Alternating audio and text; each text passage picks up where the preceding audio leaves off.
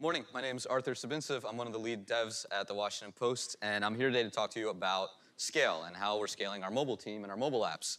Uh, so you may think to yourself, in the era of fake news and the era of a dying print industry, how we have found ourselves to be in a position where we are fortunate enough to have to scale and scale quickly. All of this can kind of be pointed back to this man, Jeff Bezos. Big, big Jeff Bezos. Uh, if you don't know who he is, he's the CEO of Amazon. He's also the founder of Blue Origin, which is a spaceflight company, kind of like Elon Musk's uh, SpaceX. Um, and he owns the Washington Post as a personal investment, meaning that we are not a subsidiary of Amazon. We are just owned by Jeff. Um, and that means we make extremely heavy use of AWS because it's very easy for him to take money from one of his investments and put them in the other investment. Um, so uh, why, what's, how has Jeff changed the company? So he came and bought the company in 2013. For the record, I joined the company in 2015. Um, and he's done essentially one main thing, which is he has grown the engineering team to a couple hundred engineers. And the reason he's done that is he's tried to uh, put us into more uh, verticals. So we have a special partnership with Apple and Apple News. And okay. Sorry, this thing keeps going in and out. Um, so we have the special partnership with Apple and Apple News, and um, if you've seen any of the keynotes or WWDC, we're usually in one of them or in all of them every single year. We have a special partnership with Google and Google AMP. We have a special partnership with Facebook for Facebook Instant, um, Snapchat Discover. Um, we have our own newsletter technology, our own video technology, our own ads platform, analytics platform. None of this would have existed if Bezos didn't come and um, take over the company. Um, so, what did our mobile stack look like before uh, Bezos purchased the company? Well, there were um, a bunch of apps, but these were three of the main apps. Um, so, the white app, the print edition app, um, it's an e-paper app. It used to only work on the iPad, um, and it was a newsstand app. Um, and the the, so, the, the way the app worked was it was just a bunch of PDFs that were bundled into the app, and you could read the newspaper on your tablet. The Black app, our flagship app, also known as the Classic app, um, it was just a phone app, and at some point it was just web views built by a bunch of contractors, and then over time it became owned internally, and now it's totally owned internally and is our flagship app. And then we have DC Rider, which was a Metro app that we abandoned many years ago, but recently we just rebuilt it from scratch. Um, and it's a, um, it's a Metro specific app, tells you how to go, where to go, how much things cost, and serves news. Since acquisition, we have a lot more apps. This is just a small snapshot of them. So the print edition app is now a universal e-paper app. The classic app is a universal flagship app that does a lot of experimentation. We have um, uh, we had Uber integration for six months in there. You would hop in an Uber, get a push notification. It would launch the Washington Post app, and you would get free news. Uh, so it was for non-subscribers as well. Um, and then DC Rider now serves ads and has its own editorial team. We have at least one editor that just writes news for this app. Um, then we had a video game at some point called Flappy Candidate, which was a um, sorry, uh, which was a Flappy Bird clone for the elections. It was featured on the App Store many times. We have an app for recruiting people. Um, so instead of talk, HR talking to you on the phone, they'll send you an app uh, linked to iOS, Android, or the web, and you answer a bunch of questions and take a couple videos of yourself um, and describe why you want this specific job, and then you go through the entire funnel. And then we have our latest news app. Well, it's three years old now. It's called Rainbow um, or the Washington Post app. And it has a completely different editorial team. It's geared towards millennials. It has a magazine style presentation. Um, it has a lot more pop culture news, um, uh, more celebrity news, shorter form articles. It's geared more uh, towards the general public. Um, the flagship app is more of um, local, national, does some international news as well, and the print edition is for uh, folks in a different generation. Um, so this, not all of this is, you know, all of this has attributed us to becoming profitable, which we are, I can publicly say that. We are a, public, a profitable newspaper company. Um, however, this has led us and the entire engineering team to a brand new endeavor, and that brand new endeavor is known as Arc Publishing. Uh, so Arc Publishing is our software as a service um, initiative. So we essentially have a company within our company. Think AWS to Amazon, right? AWS is just a white label, templatable version of all of Amazon's services resold to the general public. That is exactly what is going on here. We have taken our backend stack, front end stack, analytics stack, mobile stack, re architected all of it, and are now selling to other publishers. So, do we have customers? Yes, we do. Um, this is just a small snapshot of the customers I can talk about. So we have Tronc, which is the New York Daily News and the Chicago Tribune and a bunch of other properties. We have the LA Times, the Boston Globe, and we're international as well. We work, in, uh, we work with Canada with the Globe and Mail and um, Infobae in Argentina, and we have a lot more going on. Um, so what this really comes down to is we are now building mobile, we are now building and maintaining native mobile applications for other newspaper publishers. Um, in analogy form, we are Facebook and we are building and supporting Twitter or Spotify or any other social network-ish style platform, which is kind of crazy to think about. Um, so being the first engineer on this platform, I, um, you know, I was given the opportunity to name this project. Um, and being given that honor and knowing how hard naming things is, I thought about it long and hard. And as we had a project called Rainbow, I figured we need a project called Unicorn. so uh, internally, we have a bunch of names for this app. And that's a lot of it is my fault because I kept pushing the Unicorn name and it didn't really budge because our sales team can't go out to um, the uh, different customers and be like, hey, we have this great mobile apps team. They build this thing called Unicorn. Would you like to buy it? Doesn't work. Um, so we've settled on the name Arc Mobile. The reason I bring this up is because throughout this talk, I will slip up and say the white label app, Arc Mobile, Arc, Arc Native, or Unicorn. They all mean the same thing, this templatable native mobile application. This is our unofficial logo that I got off DeviantArt. Um, it is on all our Jira, Confluence instances, and even on our sample apps. Um, so we're Team Unicorn. So what is the Unicorn uh, Arc mobile app? It's our classic app uh, uh, rebuilt from the bottom up in Swift. Uh, when we started with Swift 3, now it's Swift 4. And all the libraries that are underneath it, which I'll explain in a few slides, also re-architected to be re um, reused in a templatable fashion. So which apps are currently powered by Unicorn? So currently, the Globe and Mail app, the Salt Lake Tribune app, the New York Daily News app, and the LA Times are in the store, um, and they are um, powered using the Unicorn SDKs. Um, we are almost done with the Chicago Tribune app. Actually, we're done. We're just waiting for them to release it, and in a couple months, we will also release the Boston Globe. And in the early fall, we have 45 apps for an unnamed, unmentionable client that are going to go out the door. Um, we when they do go out, we'll have about 50 apps in the store that are powered by this unicorn library, all in use category, many of which are in the top 100 or 200 apps in that category. So we are slowly starting to own the top news apps in the App Store. So what are the unicorn powered apps? What do they actually look like? So this is the, the launch screen. The, this is the home screen that you land on, also known as the section front screen for each app. On the left, for reference, is the Washington Post app. And then we have the Globe and Mail app, the Salt Lake Tribune app, and the LA Times app. And as you see, data can be presented differently. They can be themed slightly differently. They, all, they have some slightly different iconography. Some have ads right away, some don't. Um, and if you were to download all these apps and play with them, you'll see that there's a lot of similarities, but they still are functionally different in many places. Um, so in building these apps, the way we started is we essentially started as a product company, and we told our clients, we are going to take the Washington Post app, and we are going to reskin this for you, and we are going to drive our own roadmap. Unfortunately, or fortunately, however you want to think about it, um, we have turned into an agency where we essentially are now saying yes to a lot of features we didn't plan on saying yes to because we realize as the Washington Post, while we operate a certain way, our partners, our clients, they have different expectations and hopes, so we've had to really, really re-architect and really expand on what is customizable in this application. Um, needless to say, we were not prepared um, for what, what, what, uh, what was, um, what was going to happen. For those of you who don't get the reference, this is a character from a game, uh, Warcraft, that screams at all the players for 10 years now, you're not prepared to do X or Y. Um, so we were not prepared for the customization. However, I think we've done a pretty good job. This is a snapshot of our Fabric dashboard. We are at 99.9 or 100% crash-free all the time. Um, so I think at scale, we've been able to rebuild everything and still be able to scale properly and still be able to maintain 99%, um, what's it called, crash-free across the board. And then when the apps do crash, it's honestly third-party libraries, not us. All right, let's talk about the structure of a news app. Um, so there, there are many screens in a news app. I want to call out six that I think are the most important. First, you have the section fronts. So our section fronts are essentially, what is a section front is, is what I should explain first.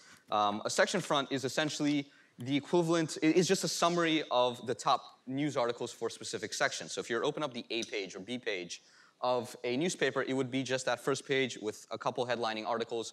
And when it says, you know, continue on AO5, that's the same thing as clicking on a section front and going to an article.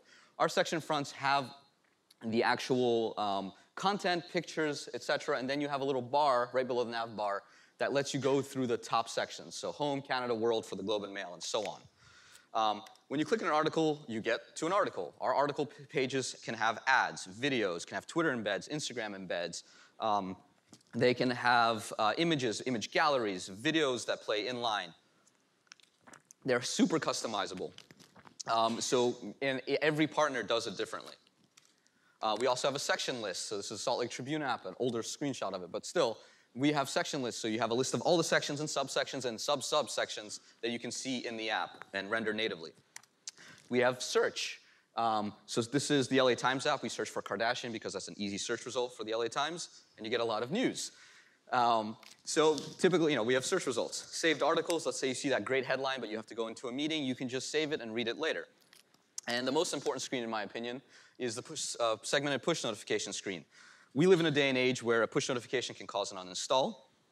Um, and iOS 12 is going to remedy that with um, special things that they're putting in place into the push notification libraries. And one of the things that we try to do is to um, allow people to subscribe into or out of funnels so that the editorial team doesn't get trigger happy and send pushes to everyone. And our, our stack also supports um, temporary events such as uh, elections, the World Cup, Olympics, so you can subscribe in and out of temporary push notifications so you don't have to send it as breaking news alerts.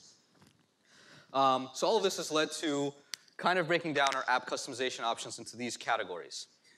So we have, uh, and I'll, I'll, kind of break them down and explain what's going on. So the Washington Post, when we started, we essentially sold one type of ad, uh, medium rectangle ad, 300 by 225 pixels. Um, but most of our partners, they want more ads. They want tons of ads. They want leaderboard ads. They want interstitial ads. They want adhesion ads. They want ads when you launch the app. They want ads when you come back to the app. Ads everywhere. Google uh, DFP, DoubleClick for Publishers, soon to be known as Google Marketing, um, uh, doesn't scale to all of those, so we now have to support multiple third-party SDKs. And as we all know, the more SDKs you add, the more bugs you add. Uh, other companies have a paywall. Unfortunately, we on Arc, we don't have our own paywall that we can sell, so we have to make do with every third-party client, sorry, every partner's in-house paywall system, which most of them don't follow standards. Some of them only use web views. Some only want OAuth. Some want social network logins. Some use third-party vendors that also don't work or are not documented pretty well. Some also have some really janky rules. Um, uh, I'll give you one that's my favorite. So for push notifications, and I think it's the LA Times, let's say you have 10 free articles and you get through all those uh, 10 articles. Um, when you, when you were to click on an 11th article, you would be metered or blocked. And it would say, hey, you need to subs- pay money to read articles until your 30 days is up. Well, if you happen to have been one of those users and you still have that app installed because you like to only read 10 articles a month, um, and you get a push notification, they want that push notification article to be readable by everyone, subscribers and non-subscribers. So what we do now is we take that push notification article and we store it in a separate cache for 24 hours. And after 24 hours, um, that article is then uh, what's called busted from the cache, and you can no longer read it. So if you happen to save that article and not come back to it for 24 hours, well, you're free to, uh, to read uh, the ability to read that article for free is gone. So we have this special rule that is um, paid for everyone unless it's in a push notification and available to everyone for 24 hours, but then it's gone for everyone unless you're a paid user again.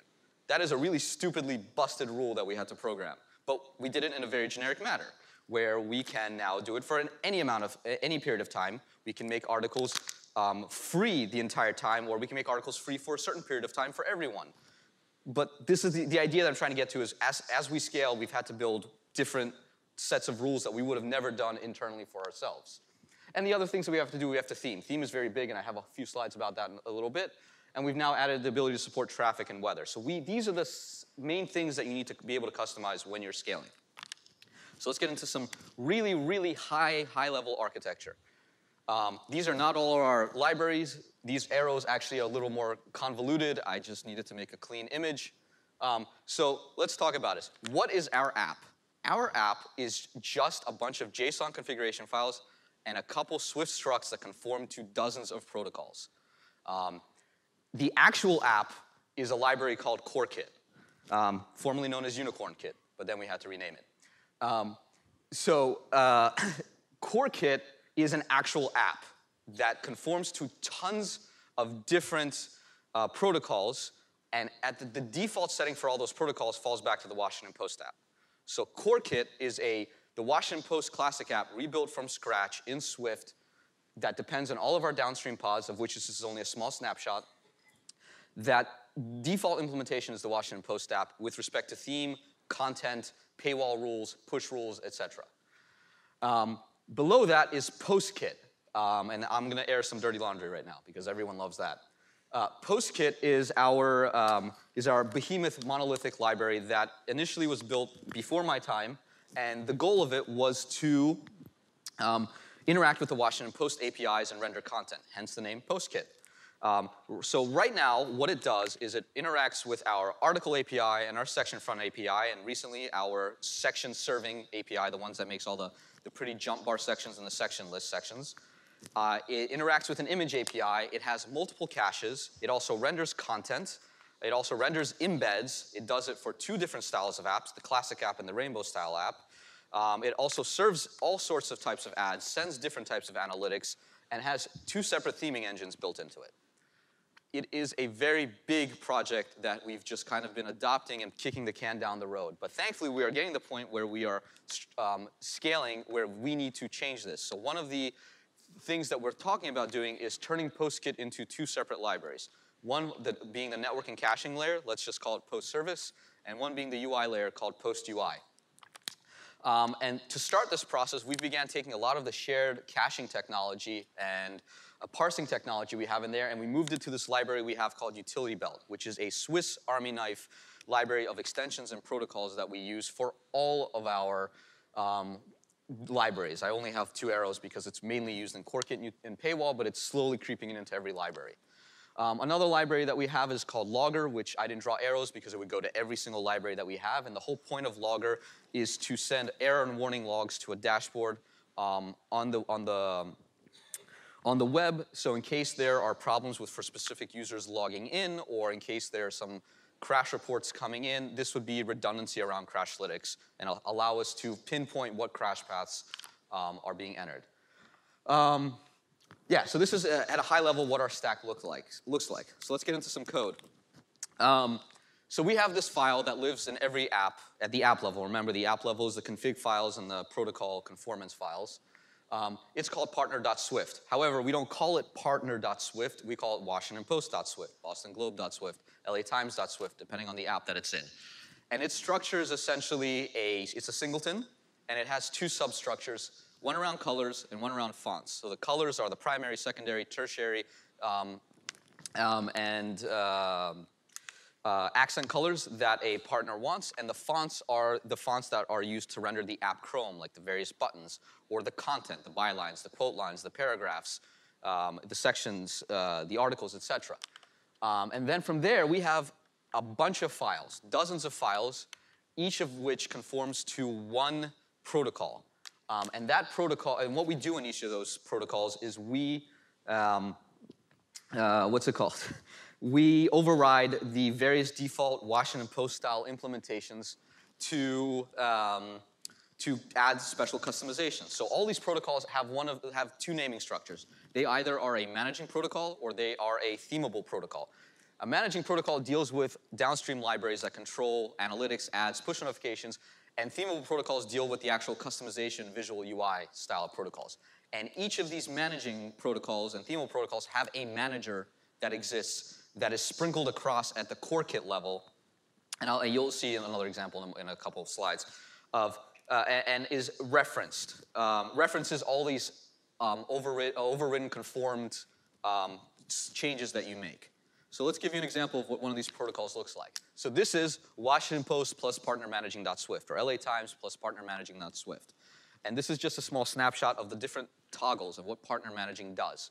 So partner managing specifically has three styles of toggles.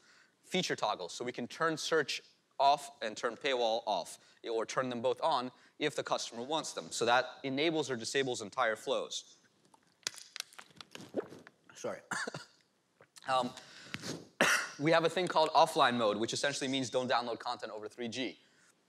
um, we have a legal toggle. So GDPR in, um, in Europe, if, you if your app is, uh, if you're launching the app in Europe and you haven't given us consent, we'll pop up a modal and turn off tracking until you turn it on, until you accept the GDPR modal. If you don't accept the GDPR modal, you can't use the app. It's kind of how that works. Um, and then we have cost saving toggles. So search on user input. So this is like type ahead. So if you don't know what type ahead is, as some, there, there is a, a way to do search where you start, as you type the result, it would begin searching, um, begin performing search queries. So let's say your search end results, end result search query is Trump. You type in TRU, you start getting results for truth, true, Trump, etc. Um, you type in TRUM, you get uh, more, uh, more um, specific results, and then you finish off with Trump. Um, however, while, when you do that, you make three round-trip requests. So you end up having to do more, uh, you use more bandwidth. And why this is important is search comes built into the Arc platform. You don't pay for it. You pay for bandwidth usage. So at scale, turning on type ahead search or search on user input could potentially cost the user three, four, five times more than if they had just asked the user to push the enter or done or send button on, button on the keyboard performing a, search result. We have lots of knobs to tweak. I mean, we have dozens just in this file. Overall, you'll see slowly how many knobs we have as I get through this talk. But this is the idea of how we're doing things. Everything is dependency injected via protocols. So let's go through how the dependency injection actually works. So CoreKit is an app, right? It has core app delegate. Core app delegate defines a bunch of setup functions and a bunch of variables. What we do in the partner apps, so in Washington Post app delegate in the Washington Post app, or LA Times app delegate in the LA Times app, is we override the partner app and we put in that structure, partner.swift or um, latimes.swift. Then in did finish launching with options, we have a bunch of setup functions, setup ads, setup analytics, and setup partner.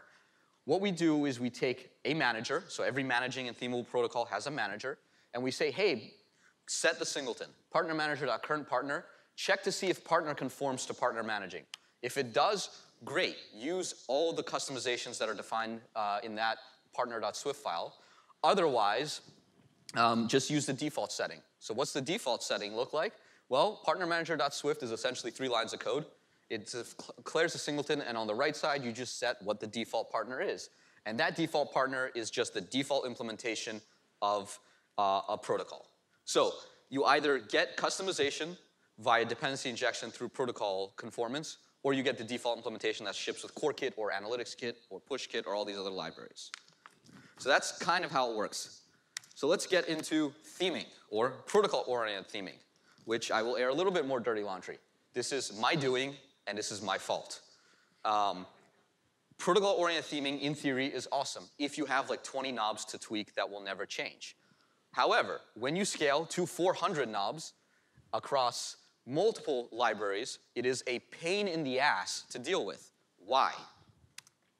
Because you can't keep track of renamed variables, new variables, or deprecated methods because Swift doesn't allow you to do any type of deprecation. If you happen to rename a variable or add a new variable, your upstream conformance file that conforms to it is going to be pretty happy with it because it doesn't care. Um, it won't tell you uh, if you're missing a conformance because you have, we have default implementations for everything because we preferred, that was our preferred method uh, when we started this project. Um, so what the reason uh, the reason we we did this is we were on a very short time. We had one week to kind of make a decision on theming, and we had no real uh, um, approach to it. And I made a unilateral decision on this specific issue, and now a year and a half later, we are dealing with the repercussions, which are um, we've had to, in turning into an agency from a product-focused company, we've had to begin tweaking hundreds of properties. So what we do now is whenever we make a change to any of the themable protocols, we open up a pull request on every single app. So we don't have a mono repo, we have a repo per app. Um, so that's how we're dealing with it right now. However, we have ideas for the future of theming. Um, so on the right, we have an image that was uh, created by one of, uh, one of our colleagues, Andrew Schoenfeld, who essentially took our classic app and broke it down to a couple dozen fonts, colors that are considered to be the primary colors and fonts. Um, what we plan on doing, um, or we're thinking about, and we haven't really agreed to it, and we don't really know what the downside is going to be yet, is to essentially have a style.json file, or temporary name for the moment, um, that has all the tweakable elements possible, all hundreds upon hundreds of tweakable elements, all having pretty much every aspect of a button declared declaratively in JavaScript, and then have those specific values in style.json reference um, default values that are declared in superstyle.json, which is this superset of the primary, secondary, tertiary accent colors and fonts that are needed. From our experience, this will cover about 95% of all theming and will also be able to help us handle um, the very, um, very tiny use cases where not all buttons are the same color and not all fonts are used the same way. The classic example, by classic I mean quintessential example that we have, not the classic app. The quintessential example that I'm thinking of is our Globe and Mail application. They have red buttons everywhere except for a green button on a pre-prompt for push notifications. So they have a screen that pops up and says, hey, do you want to sign up for push notifications? And that button is green. You click yes, and then the actual push notification modal pops up. It's the only green thing that they have in their entire app. It involved us to expose an entire button instead of um, properties that we didn't want to expose before just so we can turn it green. Um, obviously, we could have used appearance proxy, and we could have done like appearance proxy when UI button appears in this specific UI view, but we weren't sure to what level of extent we need to do theming, so we just open, put it into a themable um, protocol. All right, let's go to our persistence layer. Um, so when we started doing persistence, um, we had a, um, we used Realm. The reason we used Realm is because of myself and one of our other engineers had used Realm in a couple of other projects and we hated core data. And we needed to have a, um, a um, very, uh, I guess, we need to have one relational database. We need to have a couple models that were, uh, had relationships with each other, parent-child relationships, and th that was around sections. Um, and over time, PostKit, the monolithic repo that does everything, now is uh, started handling uh, interactions with the sections API and now deals with that whole relationship. So we now don't need Realm. And when you're working on multiple apps at the same time that are making core changes to models, like such as adding a new analytics library, so one of our configuration files needs to hold serial keys for, let's say, Firebase, and then adding Google Analytics on another library or some other analytics platform, you start going into uh, migration issues just by merging things into a shared library, even before you start releasing this to the App Store. So we got into this horrible habit of nuking our, that just having a migration that runs every time that nukes everything. Um, because we didn't have to store any user data except saved articles, and we made the you know, we made the decision that for at least one release, when we migrate away from Realm, we're gonna just nuke people saved articles for specific apps, and for other apps, we'll try to do a migration. And what we came up with was this uh, codable-backed system that uh, over NS File Manager um, that we call entities because we just couldn't think of a better name. Um, so the way entities works is we have an entities managing protocol, and that protocol defines the six main configuration files in the app. Um, and those configuration files are these codable backed models. Then, um, let's say we're not doing any type of overriding of those configuration files.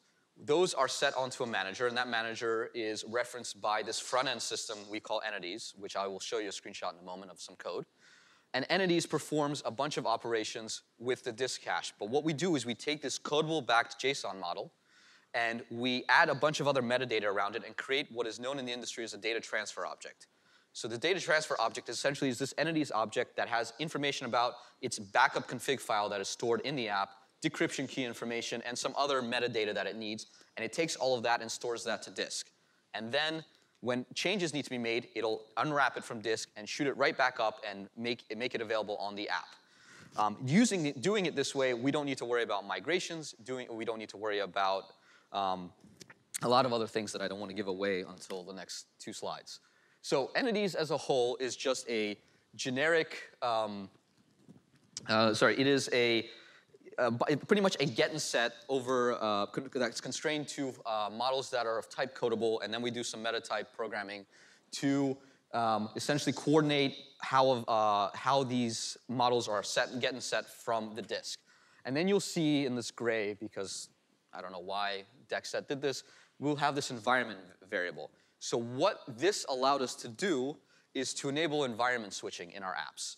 Um, so environment switching means shifting from development to staging production live on the app. Um, so because we no longer dealt with one model called, let's say, main configuration file um, that was set to a specific environment, because we were dealing with JSON files that could be stored on disk, that all could be named main config and just have some other way of separating the name, like delimiting the name, like main config dev, main config prod, we were now able to do hot switching on the app. And the reason this is important for us is um, we have a lot of partners who, when we would deploy features, would require us to deploy three TestFlight builds. So they, they could test a certain set of features on prod versus dev versus their own app store builds. Um, and the things that they usually test are rejiggering the section front layouts and checking production content against test paywall APIs. So this this was a boon to us. This was actually subsidized by one of our partners. They wanted it so badly that they shoved it into our timeline, and now this is now subsidized and available on all our platforms. And this has saved us a ton of time with respect to deployment. Um, so let's go from here to um, CocoaPods and Analytics Kit. So thanks to uh, the work of Sam, who's here today, and another engineer from Google and a few others, we now have static frameworks. Um, and static frameworks are great with uh, analytics libraries because analytics libraries are usually binary static frameworks um, or binary static libraries. And if you try to ingest a binary static library into a dynamically distributed library that sits in between, it won't work because of how the information that needs to be known at compile time versus runtime with respect to each library. So what we do on our end is we have our app, right? Configuration JSON structure layer with those partner.swift files. Then we have the actual app itself in CoreKit. CoreKit depends on Analytics Kit, and Analytics Kit has a bunch of subspecs, dozens right now. This is just a snapshot of a few, uh, around Omniture, ComScore, Firebase, and a few others. And what we've essentially done is created a um, subspec-based architecture. We use subspecs everywhere. Why? Because let's say the Salt Lake Tribune wants Firebase. They don't want to get access to SDKs from Omniture or ComScore bloating their entire app by 100 megabytes. So using the subspec architecture and having static frameworks allows us to create very specific um, Omniture specific files that depend on the Omniture SDK and keep them in Analytics Kit and then bring them in. What we used to do before is keep a copy of these provider files. And these provider files essentially set the rules on how events that come in from the app are translated into Omniture's language or Firebase's language. What this allows us to do is actually continue to keep those files in Analytics Kit instead of what we used to do, which is create copies of these libraries and bring in these apps, uh, bring in these SDKs at the app level. So uh, the example would be in our classic app or Rainbow app, we would import Firebase directly versus importing Firebase through Analytics Kit um, and keeping a source of truth in Analytics Kit that we would reference and have to keep up to date. Um, so this was a massive boon to us um, at the Post because it, it, this literally is one of the reasons we, were a, uh, we, we have been uh, able to scale as fast as we are scaling now. Um, let's talk about CI and CD now. Um, we use BuddyBuild. Uh, we love BuddyBuild. I love BuddyBuild a lot. Um, we still use BuddyBuild now, even though they were acquired by Apple because we were one of their uh, bigger partners. Um, so we, uh, what BuddyBuild does, it has built-in CI. It's, it's like Fastlane without any YAML files. You just have a bunch of knobs that you need to tweak, and everything just works. Um, the way we tested it, and the way I would like to test anything moving forward, is we took every single product on the market at the time, Circle Travis, Bitrise, and BuddyBuild, and did all their free trials all at once, and then hooked them up to a couple repos and then we just saw how they acted. And more often than not, Circle, Travis, and Bitrise would fail because their VMs would run out of memory, which is, if your VM runs out of memory, what's the point of using that CI system? That's why we stopped using Xcode bots. Xcode bots just suck on older hardware. So that's how we got to using BuddyBuild. We love BuddyBuild so much that we did a white paper with them. Um, so this was on their website at some point where we talked about in depth um, why, how we used it, I'm really happy that they were acquired by Apple because now all of you are going to be able to use it within the next couple years when whatever it is that they're doing with Apple comes out to the public. Um, so we are heavy, heavy in the CI/CD. What our essentially what our workflow looks like is um, we merge something into our mainline branch. BuddyBuild hits off, passes, runs through all our tests, deploys it to TestFlight or ad hoc builds because BuddyBuild has its own HockeyApp style ad hoc distribution platform, and our partners get it and they just begin testing. So essentially, just doing one quick merge, uh, uh, one quick merge is, is all we need to do to make our customer happy. So let's talk about open source. As Louis mentioned earlier on, I love open source. I talked about it last year. I love contributing open source, but I hate using everyone else's open source projects.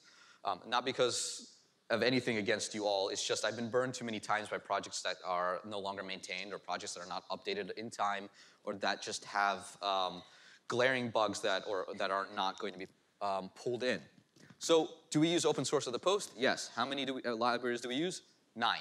Um, not including you know, analytics SDKs that can be some that are open, some that are closed, and some downstream SDKs that I'm not recalling right now. But these are the nine main libraries we use. And the reason we've chosen these is some of the, they just existed in our classic app. However, these are the best in class, in our opinion, for um, what it is that they do. So Cocoa Lumberjack for logging, SV Progress HUD for having a little heads-up display pop up, RNCryptor for uh, encoding and decoding um, uh, files securely, Mockingjay for mocking your API requests.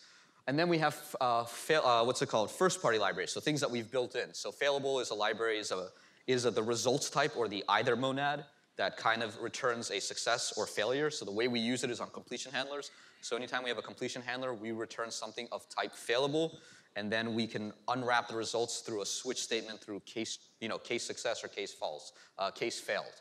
And then we use Freedom, which is a library I built last summer um, about uh, being able to launch articles, um, share articles or launch articles in a share sheet to any browser that's currently supported because not everyone uses Safari. And then we have Siren, which is app updating, which you can look online on my GitHub. Um, so this is where we are now. Um, and so where are we going in the future? Uh, so we have the um, we have an SDK offering. The end goal here, or one of the many end goals that we have, is to be able to allow engineering uh, publishers who have engineering teams, um, but don't want to build a massive news app against our backend, to be able to take CoreKit and then just theme it themselves and maintain it themselves and maybe add features themselves. Um, so we've already begun doing this. We have a partner um, that is going to go live soon with this SDK. Um, however, it is pain to maintain. Why? We built everything in Swift. Swift is not ABI stable, meaning that every time we bake a closed source binary in Swift, we need to target a specific tool chain. Each version of Xcode ships with its own tool chain. So um, thankfully, we are releasing this as beta software, so we are going to force our partners to update on our schedule. So if we are currently not on Xcode 10, we are not going to produce a toolchain, uh, a version that works against the Xcode 10 toolchain until we're ready to do it. When hopefully we'll have ABI stability next year, this will no longer be a problem. Um, automating upstream PRs. Whenever we make changes on um, PushKit, Analytics Kit, or any of these other libraries that we have, um, we want the ability for them to update our other libraries, to update, uh, to merge into CoreKit or our other upstream apps. So, so far we have this, however, it could be done better. Um, you can ask me about it later if you want. So we're starting to automate things as much as we can. We're trying to actually get to a point where we can create an app by pushing a button on a web CMS. We're trying to automate the entire onboarding away. So right now, uh, our first app took nine months to make. Our, our current apps take about two, two months to make from start to finish. Theming in general right now takes two hours. However, it's everything else, custom features that need to be done that take the other, uh, what's it called, uh, eight weeks to do.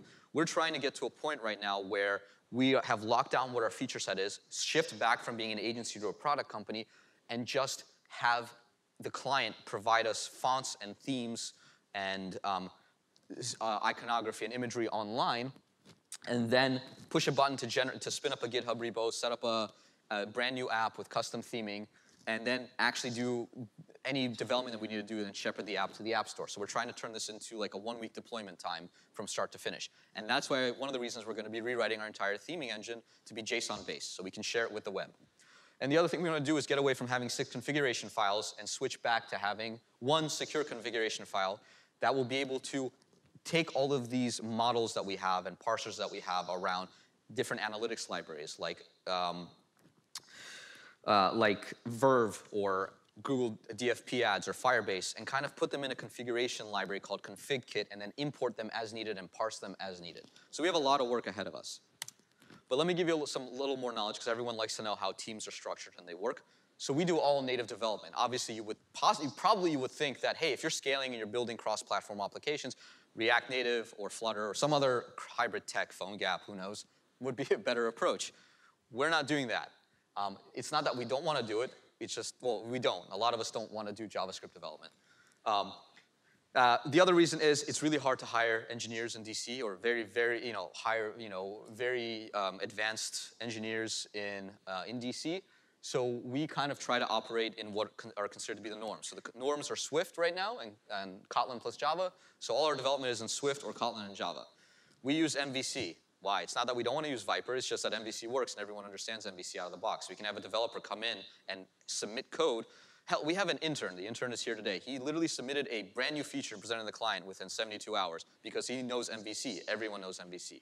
That is our goal. So it's not that we don't use these other frameworks. I mean, we have builders, we have view models, we have data models, we have factory, we have everything that you could possibly think of. But we just have minimum view controllers. Our view controllers are very tiny. Um, and if you haven't noticed, we use protocol-oriented programming. Our entire scaling architecture, at least on iOS, is, is, is able to be built this way because of POP. So what's our process like? Um, we use Git flow, meaning we have a develop branch, which is our mainline branch. We have a master branch that keeps track of our previous releases that we can quickly cut a new build off to do, to, uh, do a hot fix. We have feature branches and bug fix branches and release branches. Every, all the code comes in via detailed pull requests with mandatory pull request templates. Um, then, depending on the engineers that are reviewing it, we, of which we usually have two, um, one of them will most likely hop on a phone call or a Slack call and do a code review. Or if they're in person, they'll do it in person, just to make sure there's at least two engineers that understand what the hell is being added or fixed at any point in time. We have rituals. We have the daily scrum uh, where we do iOS, Android, um, backend, um, QA, and product. 15, 16, 15 or 16 people for 15 minutes. We have a daily check-in for 30 minutes where we kind of go into more detail. This is just iOS only, the, da- the daily check-in, where we talk about, hey, what's on the what's what's on the map today? Who needs help? What PRs haven't merged in? Is there a demo today? Because we have demos every week. And then we have a weekly Kanban. Kanban. It's actually a Scrumban in the sense that we meet every Friday.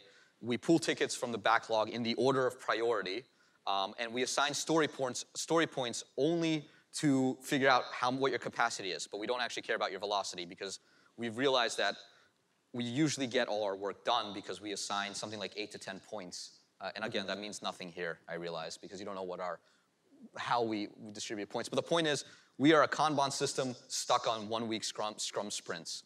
It works. You can ask me about it later if you want. Um, what's our team structure? And this is the part that I'm kind of proud of. We're all remote, or most of us are remote. Um, for the most part, you know, our team structure's changed recently slightly, but we've had uh, me. I'm in Baltimore. I work remote full time. I come into the office once or twice a month. Um, we have three senior devs. One's in DC, one's in Denver, and one's in Tallahassee. We have two junior mid developers. One's in Manhattan, one was in Cincinnati. He just moved down here. And we have one or two interns every summer. And this is what our structure's been like for two years now. Um, and this works. So I am a huge proponent of remote work because if you have the right people that are self-motivated, they will build amazing things. We are building pretty much the entire news, top news category in the App Store right now. And this is all done by this setup. A few of us are here today, so if you have any questions about working at the Post or just um, about our architecture, you can ask anyone except Dustin because he works on the Classic app and the Rainbow app. But he'll be happy to answer questions for you anyway. Um, thank you for listening to us, and thank you for listening to me about this project.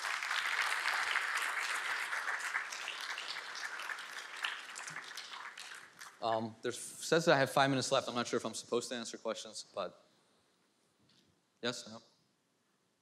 Okay, I got the thumbs up. Does anyone have any questions? Everyone understood everything.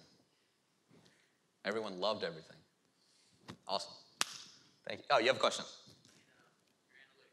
Yes. Sorry, can you speak up a little bit?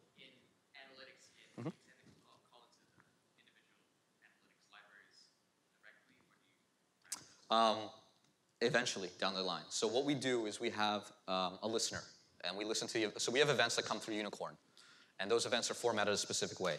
Then they propagate down through uh, a listener. The listener then goes through a translator. So Omniture has a file called Omniture Translator that conforms to a translation protocol.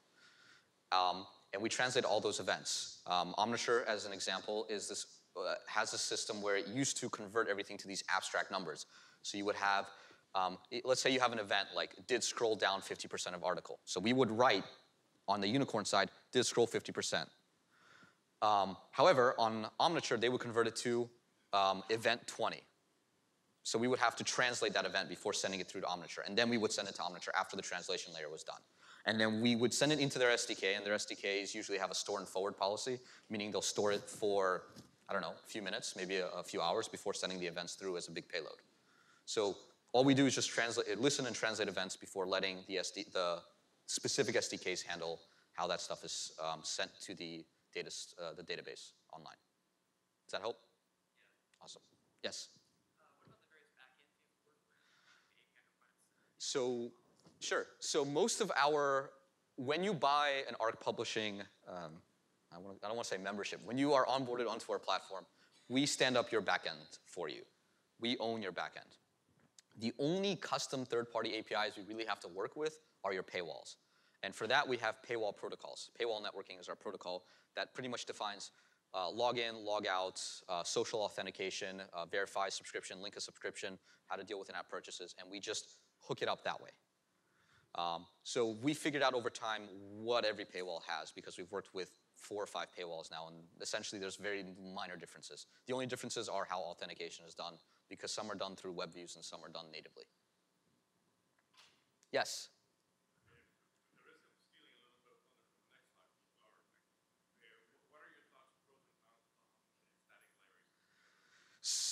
Uh, okay.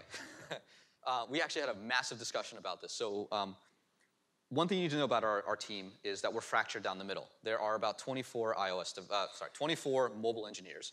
12 or 13 work on, 20, 12 or 13 are iOS. Half of them, as I said, work on um, Arc, Arc Mobile.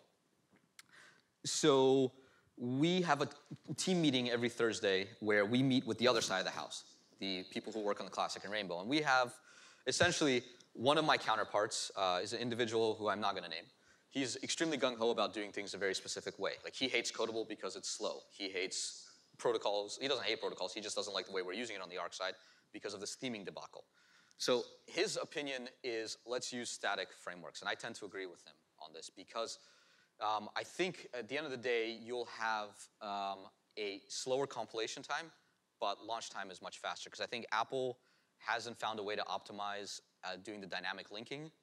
Um, so what we've essentially done is we've turned almost every library into a static framework at this point in time. However, as you said, the speaker that's coming on later will have a better explanation than I will.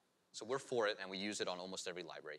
And most of it is because downstream dependencies come in statically, like ads and analytics. So every upstream dependency, analytics kit and ads kit at this point, have to become static.